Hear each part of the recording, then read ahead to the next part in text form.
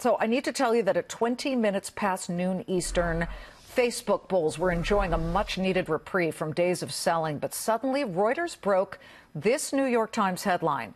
Quote, Facebook is preparing to announce it has identified a coordinated political influence campaign leading up to the midterm elections.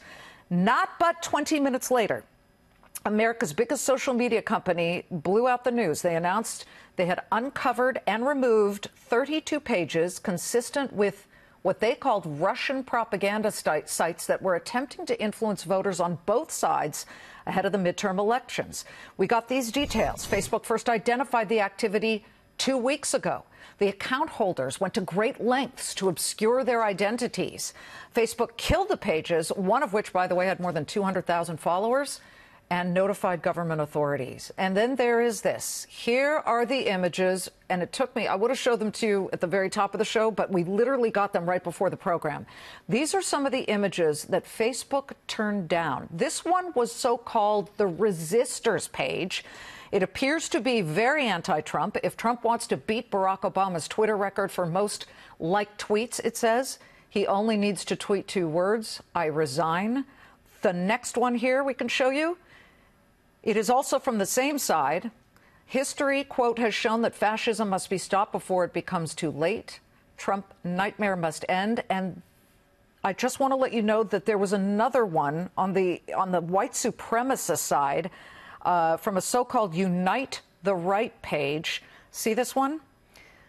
If you go back, this, of course, was uh, what was going on around the time of, um, well, they were, it was for an event that involved white supremacists that wanted to meet up in an organized protest that uh, was a year ago. And, and very important to point out here, folks, some of them had some very ugly language on them, dirty words. We could not put them up, but they appear to be from both sides. And Facebook says these pages mimic what the Russians did in 2016 during our election. And amazingly, the timing. The news broke just as Department of Homeland Security kicked off its National Cybersecurity Summit right here in New York City with Vice President Mike Pence about to speak at the event in less than an hour. Deirdre Bolton is the only uh, business news anchor at the DHS Cybersecurity Summit. Deirdre, I would imagine with these images we just got a hold of, the experts there are awfully interested in the breaking developments. Uh, Liz, they sure were. And in fact, when I was speaking with different people here, including Mark McLaughlin, who is the vice chairman of Palo Alto Networks, he told me that in a certain case, it's normal because Facebook, with over 2 billion users, is visible. These hackers know that there's access to more than 2 billion users. And his opinion is they are managing what they can. Here's what he told me.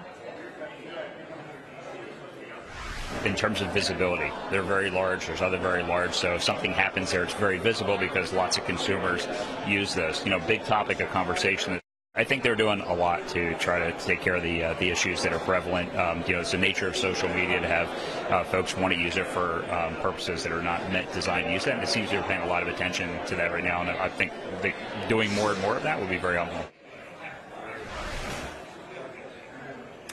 Liz, this cybersecurity summit is very much a call to arms. So you heard that particular guest from Palo Alto Networks talking about social media, but there are numerous CEOs here from various industries. So banking, technology, infotech, energy, telecom. It's really wide ranging. You mentioned Vice President Pence, who is going to start speaking here momentarily. The FBI director is here, the head of cybersecurity for the NSA. And this idea is really to bring both sides together together. So the government and private enterprise to fend off all kinds of cyber attacks.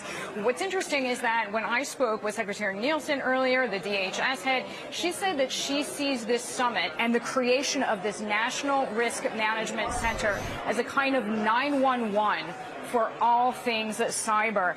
And when we heard from Secretary Perry, he is here as well, Energy Secretary, he was saying, listen, if it were not for the private sector, the government at various junctures may not even have known how far the Russians got into infiltrating certain levels of certain grids. So the point here, Liz, the big theme is cooperation.